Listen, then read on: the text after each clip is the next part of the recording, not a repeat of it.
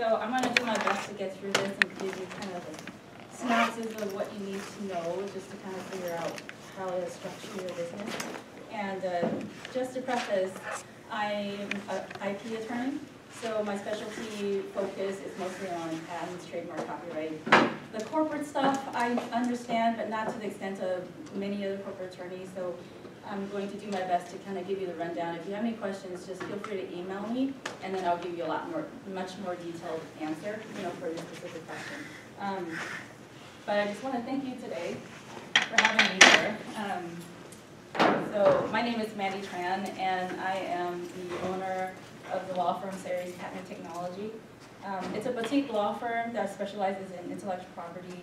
I uh, help people obtain patents, copyright, trademark, trade dress, other things. Um, I also work on contracts, licensing, and when people get into disputes, I help them resolve that.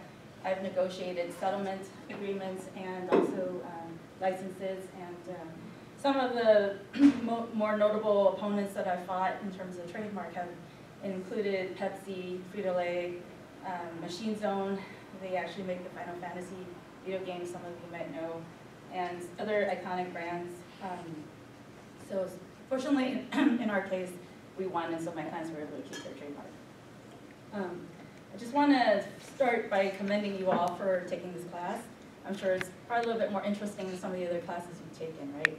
Um, But obviously, there was a curiosity that you had in business that brought you here. So hopefully, through this experience, you've been able to have a spark in a passion, a newfound passion for business. But maybe for some of you, you found out that it might not be for you, but that's okay because, you know, when I was in middle school and high school, I was fortunate enough to have grown up in a family business. And um, I learned a lot in terms of wisdom, the um, amount of endurance that, that goes into it. It's really, uh, it, it's one of the most challenging things personally that you can go through in terms of owning a business. And so with that, I've been able to take it into my life in my own business. But I think for many of you, this experience is much like that, you know, and so you'll be able to take that and, and either bring it into your own world and your own business or else contribute to your employees. So this is very multidimensional experience you're getting. So I do commend you for going through this, and I'm sure you've learned a lot about yourself. Um, um, so let me go to this next. Oh. Um, for me, it, you know, I read this book by Bill Gates, and the one thing I took from his one autobiography was this thing about the mission statement. And it took me a long time to kind of find the one thing that captured the spirit of business for me. And recently I found this quote, uh, this Latin phrase, audentes fortuna vivat. And for me, it's important because whenever you're in business, you should have some kind of a global perspective of that, that guides your sense of direction and mission. so it, it basically translates to fortune favors the bold, right? In life, you really do have to take it boldly. There's no room for being, you know, there, you can't be shy. You know, it's either you live or you die, really. So um, I would say, you, I, I, guess one of the biggest challenges that I've encountered in business, and I, I currently run the company Pro Control. You know, I deal with a, a startup company myself, and I've seen it go through all the challenges of growth. What what you're kind of going through now, we've been through that already. And as a business owner, you really do have to kind of face your fears, face yourself more than anything else. I mean, if you can't be bold within yourself and, and, and basically give yourself the chance to grow personally, then your business doesn't stand much of a chance because you are your business when you're an entrepreneur. There's really no barrier to, to that um, relationship. So um, I analogize oftentimes business with have, being a parent-child relationship or um, a farmer, you know, with its field or, or a ship captain to a ship. Um, you are basically tasked with the, uh, you're, you're tasked with the um, role of giving birth to an idea, giving birth to something that's alive, bringing it up from a seed and making sure it comes out into the world in some kind of life form, uh, cultivating it to some uh, sustainable, you know, self-sustaining level, and then making sure that hopefully it can grow and live through your life into the next lifetime. And so in that way, you are a leader right now you are, you know, so in that way, I kind of give to you this mission statement to take into the future in your own life to guide you that no matter what, always be employed. Um, so I'm gonna go now into the law. Um, why do you have a lawyer, why would you have lawyers, uh, a a lawyer in, in an entrepreneurial class? I think that it's pretty obvious that the law is the foundation of everything that you do in business. It's basically, um, it sets, it's the rules of the game, and it, having, um, oh, sorry.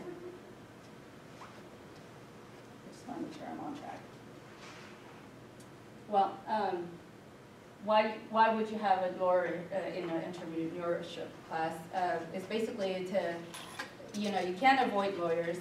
Um, The law is the basic construct of all business, all transactions. So uh, it's, it, it's important for you, you know, throughout uh, in business to know a good lawyer.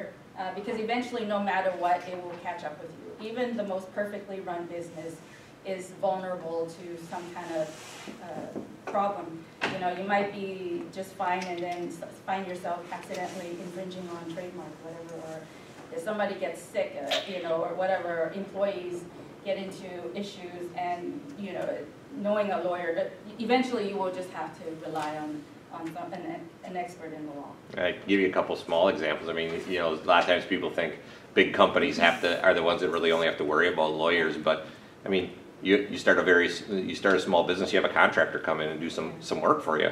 And the work ends up being unsatisfactory and you've already paid for a portion of it and then they abandon the job because they maybe get another job that pays more money and, or they do a haphazard job in order to move on. You're stuck, stuck holding the bag and you're a small company, so you can't afford thousands of dollars of rework to be done, so you're going after the first company who didn't do the work properly. You know, you're gonna need an attorney for something like that. It's not gonna be as simple as saying, hey, you know, this guy didn't do the job. They're gonna say, okay, let's look at contracts, let's look at what you signed, let's look what you agreed to. You know, and ultimately that starts to become more and more challenging. So no matter the size of the company, you're going to find, you know, a lawyer is gonna be a useful thing to have on your, uh, contact list. Yeah, some of my smarter clients, and they're even the smart, the, the, the ones who are just starting out, the first thing they do is come to me, you know, to consult on what do they need, to make sure that they have everything they need outlined and so that they're set up right, because if you're set up wrong from the beginning, then you run into those holes and vulnerabilities and then you get into those troubles more. And it's more costly if you don't, you know, I, I just, just kind of like, as a, it, it, it's good to be uh, cautious that way and, and, and uh, have somebody on your side that can give you advice throughout the whole, you know, your, your growth. Um, I'm sorry, I drank too much coffee this morning, so I'm a little jittery, I apologize. Um, So, um, why, right? The, as, as we discussed, the law, you can't avoid lawyers and, and, and the law really sets the standard for, for everything you do. You know, I mean, you, you go into the business, whether you're manufacturing or whatever your business you're engaging, or if it's even services, every, nearly everything is regulated in some way. And so, um, it's just good to, uh, my suggestion is not only know a good lawyer, uh, but be familiar with the law, you know, because that way you, you can save yourself money, um, and, and headache, but then you can, al- you are also able to, uh, to manage your own direction much better, uh, and, one second. Um, I, I think that like when you, when you're familiar with the law, um, then, you know, you, you just have a, a lot more, a better grasp of, and control of your business. Um, And, and also are able to strategize much better for yourself as well as take advantage of the experts that are, um, working for you. Um, There's kind of basically three types of law uh, that you should consider. There's a federal, there's the federal level of law, the state, and international law. Um, The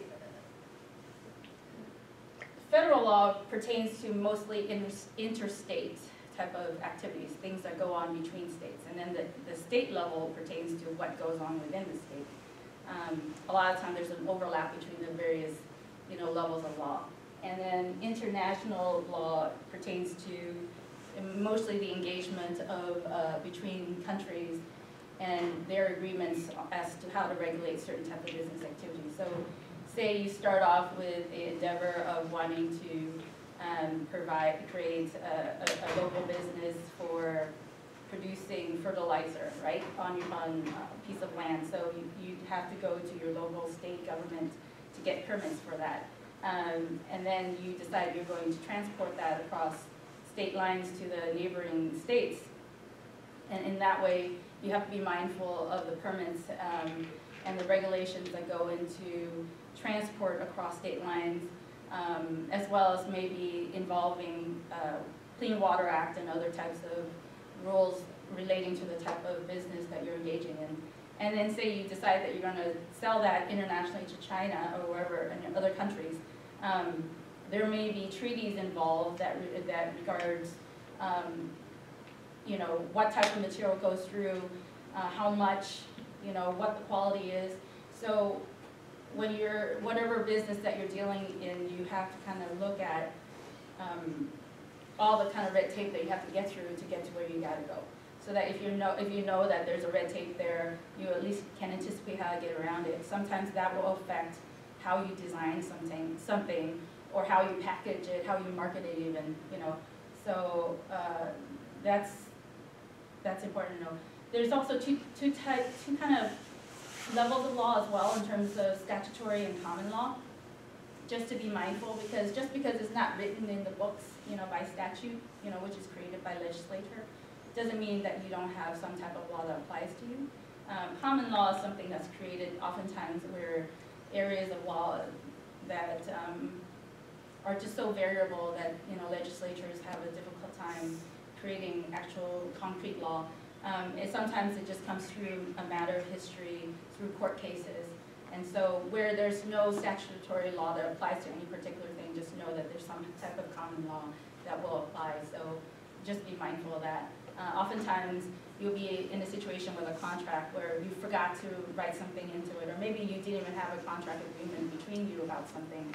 Um, and maybe the statutes don't provide for that. Um, there might be some type of, of, legal remedy in common law that may apply, but it's just a lot more costly because it's not so black and white. Um,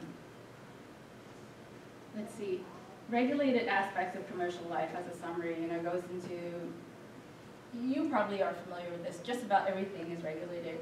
Uh, tangible properties, liabilities, employment, family, criminality, these are the things about business that are affected, you know, by regulation. Um, So when you create your business, where, you know, right now you're just kind of coming up with a product or a service, these are all the things, though, that you have to kind of anticipate. Um, How do I protect my property? Uh, How do I protect my ideas? What type of liabilities do I have to anticipate? You know, how do I handle my employees and, um, and any risk there? Even with family, there are businesses where couple, you know, a partner will come in and they're married and they have to anticipate the potential for divorce and how that will affect the business. There, you know, taxes, um, so all these things you will probably uh, run into and, uh, you can probably discuss between yourselves, um, as a consideration. Um, business is very risky, obviously. Um, there's really no guarantee, first of all, of success, and there's no guarantee that you won't get into some kind of, um, uh, that you'll go through a whole entire lifetime of business and not run into, you know, any type of issue. You're always vulnerable because you're way out there uh, as a business. You're out in the public and you're fully exposed. You can get sued really for just about anything. Uh, people can be just vindictive and just file frivolous lawsuits, and I've seen that happen. Um, a lot of times you just, you know, you could be in a situation like right now where you could be a perfectly running business and then you get hit by, you know, a global pandemic and now the, the borders are shut down and people can't travel to Europe, you know, so I, I've talked to now a few of my clients where all of a sudden they have to kind of stop what they're doing and go have conferences of how to deal with employee travel and, you know, sick leave and all these other things, and the government is transitioning, so other things that kind of come into play is just the government is another element that, that, that affects your, that can kind of affect a company, you know, even taxes, like uh, every administr, every other uh, president uh, that we, presidential administration, there's always new proposals on taxes. And so there's some, you know, nothing is fully consistent. The law tries to do its best to kind of iron, keep things ironed out for long-term stability and security of knowing, you know, how to strategize your business. But you'll run into some variability, and so these things are, are things that you have to account for, that you have to adjust to. That will cost you money and time, you know, and so these are things that business do have to plan for in some way, you know, some type of um, risk management, risk management in terms of various different laws. Although I'm sure people really didn't anticipate a pandemic to come through, you know, right now, but it's crazy. Um, let's see, so how do we manage these risks as a business, right? Um, obviously, some things like catastrophes you can't control fully, but yet there are contracts, most contracts will have standard language in there that has sort of an out for in case of natural disasters, that the obligations may be able to cease. You know, so in your contracts, you have things written to anticipate all these various types of scenarios. Um, Probably why contracts turn out to be twenty pages long oftentimes. There's also, in terms of how a company is structured, can help to sh- shield you from many liabilities uh, to the company and protect you personally from, from those liabilities, uh, uh, being personally liable for the, the things that go on in the company. Um, Property, you know, in terms of your actual property, you have insurance, there's patents, intellectual property protection, you want to register what the inventions you have so that other people can't steal, so that really kind of closes some of those risks. So that way, um, uh, and registrations, right? If you have something like you're, you're a chiropractor, well, you want to make sure that you're going to get yourself certified, uh, you know, get the proper licenses. You just don't go out there and do, and just run your business. I, I recently, I'm, I'm also part of the planning commission of the town, and recently we had this one business come through, and I was really shocked, right? Uh, they were like a year and a half into running their fertilizer business, and they got, they, they, they were violating state and, and local laws, and they didn't really care.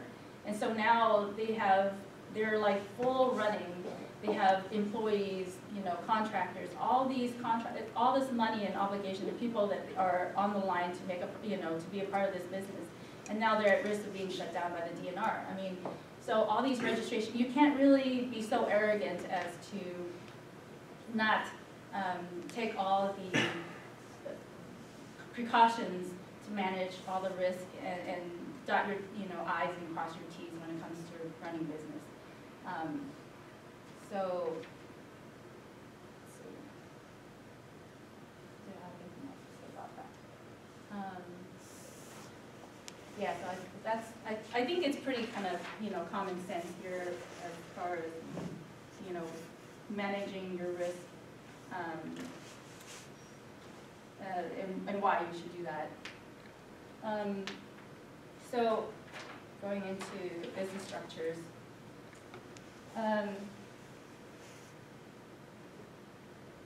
there are, when you, when you engage in business, you're really personally vulnerable, you know, and, and the law is set up in, in, by statute to provide for certain types of organizations that allow people to be protected personally from uh, what, you know, the, the, uh, ac- the activities that they engage in, because, um, if you're just a sole proprietor and you go out and you sell something, um, you're, you're fully exposed, you know, if I were to sell a paper tip, clip, paper clip to, you know, some person and they take it home and their kid swallows it and dies, then, you know, without any, um, if, if I'm not properly structured, I'm fully responsible, um, my assets, my property, I would have to pay out for all, for that type of damage.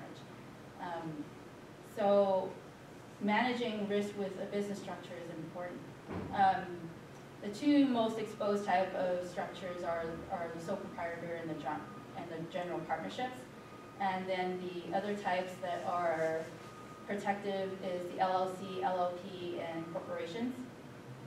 Each state will have its own kind of separate bodies of law in terms of what is required to form any of those types of uh, organizations. And, uh, and of course, you know, they, they, their benefits will vary and for whatever purpose, uh, you know, what your projected type of uh, growth, you know, what you anticipate to achieve in your business will determine whether or not you should go with maybe the smaller type of organization or the, you know, or whether or not to incorporate. Um, And uh, there's this website here that kind of gives you some information on that. All right, can I, I'll jump in here as well. And this is probably the first spot where you have to really think about, um, which route you're, you're gonna go as a group, okay? Um, you know, sole proprietorships and general par- partnerships, probably most of you are gonna, you would think about out of these two is gonna be a partnership, right? Um, but if you're a group of two, a partnership agreement's a lot easier to write. You're a group of three, becomes a little messier. You're a group of four, it starts to get really rough. Because ultimately, everybody's gonna have their own personal interests as well as business interests in mind. And then on top of it, how do you, how do you divvy up the liability, how do you divvy up the, the revenue? Uh, becomes a real, a real scenario. And realize that in a lot of partnership, or in the possibility of partnership agreement is maybe you're going to be a little bit more financially better off than your partners. You know, does that mean that ultimately at the end of the day, let's say the business fails and now you have debt and you file for bankruptcy, do you think that it works that if it's two people, it's just 50-50 all the time? Of course not. Like they can come after the person who has more financial uh, backing or more equity in their own personal life because, you know, partnerships and sole proprietorships provide what's called unlimited liability. Meaning that if you can't cover your business expenses, they show up at your house. They repossess cars, they repossess houses, they empty out savings accounts, they garnish wages until you take care of all those things. Now you might say, well, why would anyone ever do any of this? Well, realize that they're also a lot easier to set up. Yeah. I can start a sole proprietorship this afternoon if you'd like me to. I can hang a shingle outside, I can put some advertising out there, and just basically let, let the business be one of the ways I make money and have it included in my personal income taxes. Corporations, a little messier to set up, but they provide you that protection. You know, if you're dealing in a situation where, like say for example with food or contracts or employment, things of that sort where you, there's always that possibility maybe you would get sued. You know, a corporate structure allows them to sue the business, but not be able to come after you personally. They're not gonna show up at your door and, you know, say, hey, you know, the business is folded and I'm still out money, so I want you to give it to me out of your personal accounts. So, you know, and obviously like an LLC versus an LLP, a limited liability corporation, a limited liability partnership. You know, again, that, that website will help kind of, kind of divvy out the differences between those two. But that is real, realistically one of the first things you need to think about, because when you're small, and you can evolve, that's also probably worthwhile to point out, is a lot of businesses will start off as sole proprietorships, they get bigger, they take on a partner for more financial backing. They go, they maybe bring in some more, now they need to think about corporate structure to make it easier to, to manage. Um, but that first step out the door, you have to think about really what are the advantages and disadvantages of each to make that decision. The sole proprietorship and the general partnership is basically, I'm just gonna go and do something.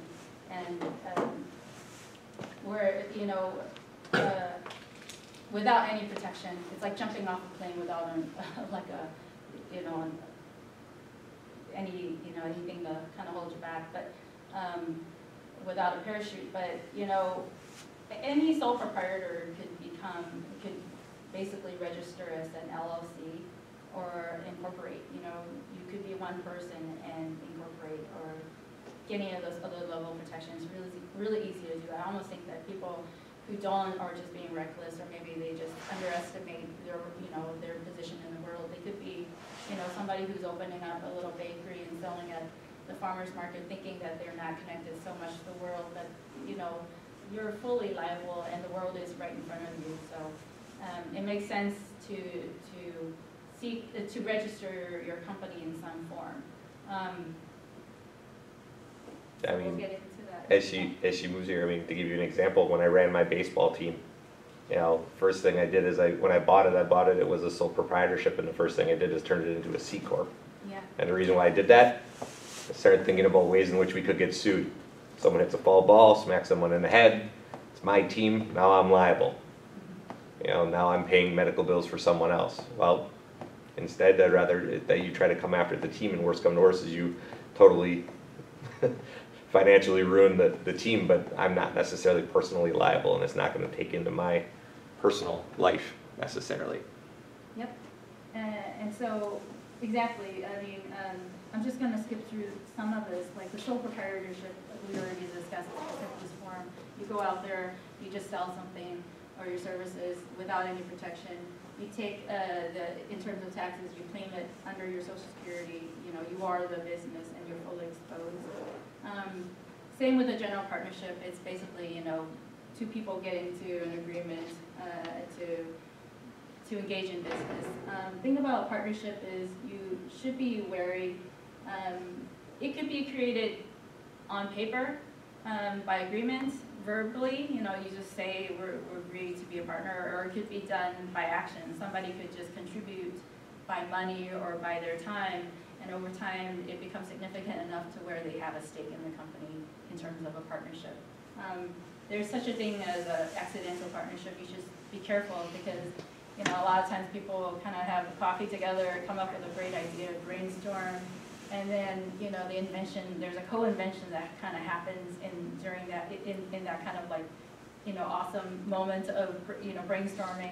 And then, uh, then they kind of have conversations, but maybe one guy is thinking, this is my business, I'm gonna form everything on my own, there's nothing written. And before you know it, the other person feels like they've put so much time into that they are part of the business. And so this person A has found himself with an accidental partnership with person B. And so it's really important when you do business to kind of be mindful of your relationship with everyone that you discuss it with. Either don't discuss it with people unless you intend for them to be a part of it. And if you do, you have to think about like, what's the capacity of that person? A lot of times these things happen at an early stage. You find yourself engaged and entangled in these relationships that were not intended. And you weren't really clear yourself where you stood.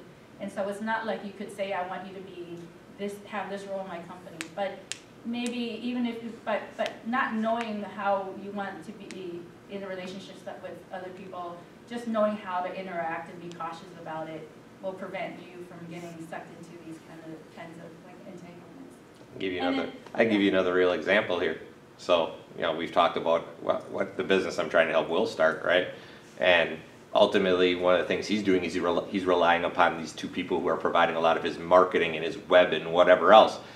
And I keep telling him that I'm really worried about that exact same thing happening because, like, we ask them for administrative ability to get like the email address and password for their general inquiry web like email address so that we could use it for like doing some of the things he's asking us to do. He, the guy who's controlling all that stuff, he's like, I can just have it forwarded to Oh, you, but I don't want you to, I, I'm not gonna give you guys access so you can reply from this email address. Yeah, Um, yeah, I'll do all your artwork for you because I'm a really nice guy and I'm gonna do all your artwork for you. But if you need something, come get it from me. I'm not gonna just give it to you. yeah, you give away control and And, basically that. and so he's got this spot where he owns a business, but he's not even control, he's not even in control of his own brand right now. And Oh, that can easily turn into something like this, where down the road, this business becomes successful. And then the person goes, well, I did all this work for you in the beginning, therefore I deserve. I would part of say your that business. if you ever were to engage at any level, pay for anyone for services, even to help you prototype, always have a contract. You know, have some kind of agreement that says you're not an employee, you're, you know, you're not an agent, you're just an independent contractor. You know, and over time, as you develop those relationships and trust between each other and familiarity, then you can kind of maybe give them a greater role in the business and, and grow together. But, um, it's always good to start very conservative and, and, you know, with less. Um, In terms of fiduciary duty, here it was kind of structured under a partnership, but really it's a policy that applies to pretty much any kind of situation where people are responsible uh, for the, a company at, at an ownership or agency level. Um, Also, uh, licensed professionals like accountants and lawyers are responsible for businesses too. And so the duty exists and sort of ubiquitous um, for the most part. In the context of a partnership, the fiduciary duty is basically between the owners, you know, their, their responsibility to each other, um, the loyalty and truthfulness to the company. Technically, I mean, basically, it's like, don't do anything that's gonna harm your, your, your business and, and your partnership. You know, don't go and double deal. You can't be in two different competing businesses and at the same time in terms of owning them. You can't go and steal the clients from one business and then use it for your own personal use. So it's just a matter of loyalty. And it, you have, it, oftentimes, um, even though it's sort of a, something that's defined in common law, you know, it's, uh, it's best to have, you'll find it actually very carefully outlined in contract, so that that way it gives clarity. Um, sometimes there are reasons for certain businesses to have, you know, a lot more uh, detailed and um, strict fiduciary rules. So these are things that I think depending on the type of business you're in, you want to think, what is the expectation of partners? Or, you know, the CEOs of officers in the company?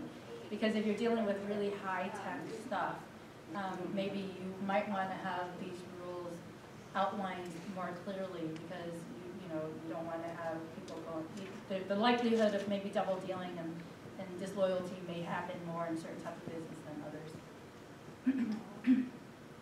Um, So in terms of corporations, there's, it's, it's something that's created, um, the IRS sees a corporation basically as, as an actual business entity. It's treated as sort of a separate person in itself, um, where, from the owners, uh, for tax purposes, and also in terms of the ability for a corporation to do certain things, um, on, on its own behalf. Um, it's a little bit more of a complex business structure. To create a corporation, um, there's some requirements, the uh, formalities in terms of like having to have a board of directors, um, certain registrations, having regular minutes, having designated officers, and um, Usually people incorporate for a variety of reasons. You don't have to be a big company or, you know, have many shareholders to incorporate, but oftentimes people will do that because they want to go and fundraise and there's this expectation of sort of this higher level of status that comes with being incorporated. Um, it also gives the impression that you are going to go out there and do something a lot more global and national in scale. Um, there's also tax benefits to corporations. Um, in terms of, um, uh, that, I'm, I, I, I don't have that in front of me in terms of the various tax benefits, but I would say that, um, maybe sometimes bank, banking institutions will require that you be incorporated. For nonprofits, you know, it just is a much easier way of going because the restrictions for nonprofits won't allow, um, for part of the entity to be a for-profit. um, It, it- it, it- it kind of does away with some of the cumbersome aspects of, uh, that, that people run into when they're setting up certain types of other entities like a nonprofit. Um, But the, the setback with a corporation is, you know, with a C corp, there's such a thing as a double taxation because it's its own entity, it has to pay its own income tax corporate level income tax. So the corporation has to pay its own taxes. And then after that, the, the money in terms of distribution that, that go, gets paid to the shareholders, the shareholders then pay those taxes personally. So for every dollar made by a corporation, it gets paid once at the corporate level and then, and then the second time at the person level. So there's money that's lost in, in the process, you know, for income that's made from the company. And in that way, um, there is the option to avoid that with an S corp. Um, if you do qualify as an S corp, that's great because you do get the benefits of a corporation, but then uh, the the taxes are allowed to pass through to the shareholders and, and they're able to skip the corporate income tax level of uh, taxation to, but I'll, I'll go into that in a second, in terms of how that works. Um,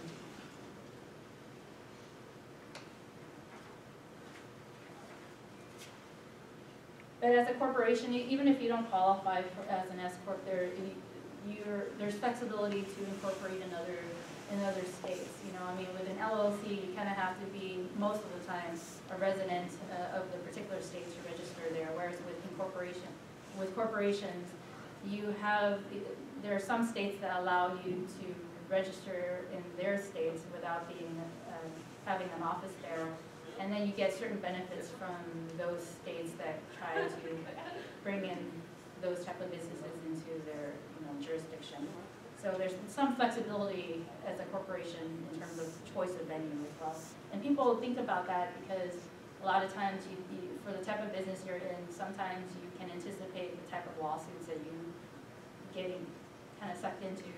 And so knowing, having the flexibility and knowing where you can, you know, set up your business kind of gives you some control over where, which courts you can rely on, you know, to fight your particular, whatever lawsuits that, might, you know, run, you run into.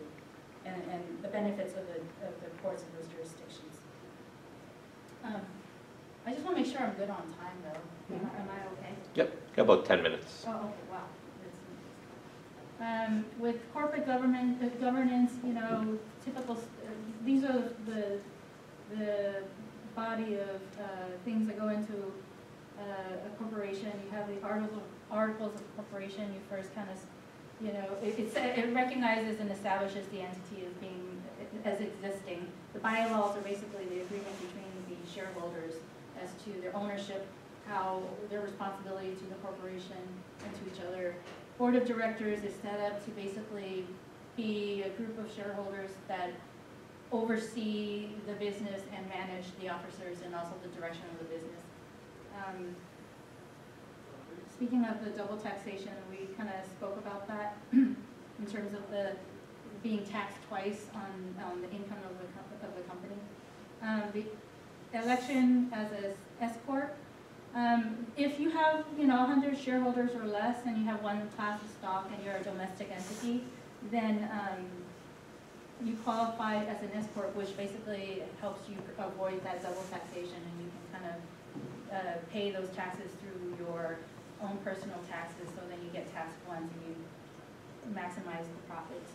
Uh, with a. Can, can you explain what a domestic entity is? Yeah, it's basically, a- a- a- and I guess it varies in terms of which state you're in, you know, they may be, some states are more restricted to say that you have to be um, residents, you know, the people that are part of the company are residents of the state, and others, basically, you're just a US citizen, you know, whereas with a C corp, uh, you'll find that there's a lot of other foreign share- shareholders or from foreign countries that are part of it. So say you're fundraising and you're getting money from out of overseas, um, out of the country, then C corp would be some, you might not qualify in the S corp, then C corp would be the direction you go, in that case, based on qualifications. Um, Fiduciary duty, much like what I had explained for an S corp, basically duty of loyalty, you know, just don't, you just can't do anything to harm the company. Um, You can't compete with the company. Um, You, you can't steal opportunities. And if you do, uh, oftentimes there are um, provisions in the bylaws or for partnership in terms of the partnership agreements that would, could cause you to, you know, lose your ownership rights over the company and even be sued for lost opportunities and damages, so. um, But this is common sense thing, like, why would you be in a company and try to like cause its own demise? These things happen, so we have to have, these- these rules are there for that. Um, Limit liability partnership. Excuse me. Sort of an unusual, less common structure of, of business. Um, It's not considered a business entity under IRS rules. They don't see it as its own, um, you know, individual, it's not subject to corporate taxes, but it's sort of this hybrid business, LLPs and LLCs are basically hybrid business organizations. that, you know, recognizes the need, maybe at a smaller scale, that people don't need such a complex structure to protect themselves and do business. It could be just maybe more of a local business, contractor, constructor, even myself, you know. I, I'm, I'm just my own sole proprietor. But then I don't want to be fully exposed, but I want to have the flexibility to do what I have to do without having to go through all the, you know, regular, the requirements of, um, management and having, you know, sheriff officers and all that. So it's a, it just gives, it, LLPs and LLCs are basically a state-created, um, type of organization by law that gives you personal protection. So LLPs in, is a little different from LLC. It's basically for uh, situations of partnerships um, where you'll find this more with licensed professionals. Um, I have some distinctions really now. They're, they're, they're basically a, a, a- an, a, an organization type that, for partnerships, um, that allow them a flexibility to, um, engage in their business, but be protected from personal liability. Um, being the, each of the partners are able to manage the company directly and not be personally liable. And, um, the- the- there's also, gives the part the flexibility for, because in certain types of cases like accountants and law firms, the partners are always coming and going, and they're all really very engaged in managing the business. So uh, it, it basically allows them to, um, to do what they, you know, en- engage in business with it, and, and, and in an LLP, each partner is liable for its own part of, it, uh, for its own, for their own level of negligence, but, um, they're shielded from any kind of debt and, and obligations of, of the organization. Um,